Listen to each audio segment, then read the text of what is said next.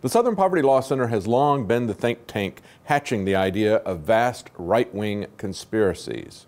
SPLC is the source behind some of the most outrageous enemies lists being compiled by Homeland Security, fusion centers like the MIAC report, and emails and policy statements by the military. SPLC creates the boogeyman, writes the script, and Homeland passes it off to the police, who are trained to associate political speech with a threat to their personal safety. And it's not just political speech. Southern Poverty Law Center is attacking religious freedom, calling it hate. This line of attack has been promulgated within the military.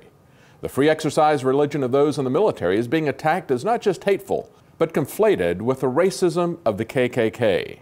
It's an interesting comparison for the SPLC to make since it got its start in the violent racist confrontations of the 60s.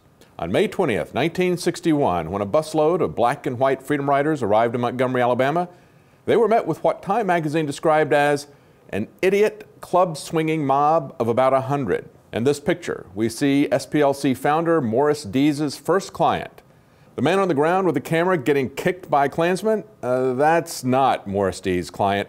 This is Dees' client. Dees didn't defend the Freedom Riders who were viciously attacked, bloodied, and had their bus set on fire. Dees defended the KKK thug, the ringleader. And he got him off, in spite of it being widely reported like this article in Life magazine.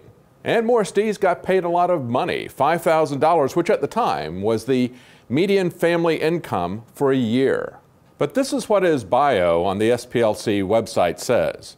After launching a law practice in Montgomery in 1960, he won a series of groundbreaking civil rights cases.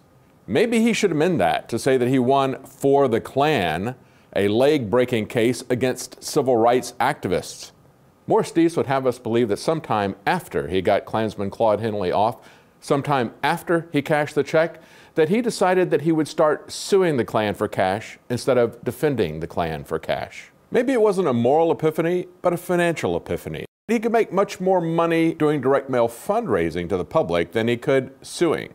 Criticisms of the SPLC from the left focus on how little it does other than fundraising, how much money it hoards for its endowment, and how much money it pays multimillionaire Morris Dees.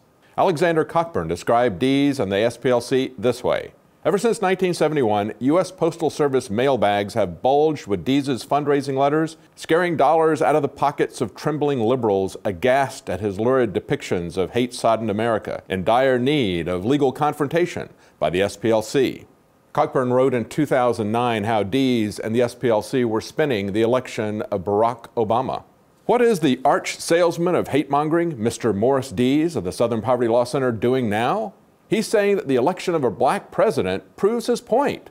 Hate is on the rise. Send money. Without skipping a beat, the mail shot moguls who year after year make money selling the notion there's been a right resurgence out there in the hinterland with massed legions of haters have used the election of a black president to say that, yes, hate is on the rise in America ready to burst apart at the seams, with millions of extremists primed to march down Main Street draped in Klan robes, a copy of Mein Kampf tucked under one arm, and a Bible under the other.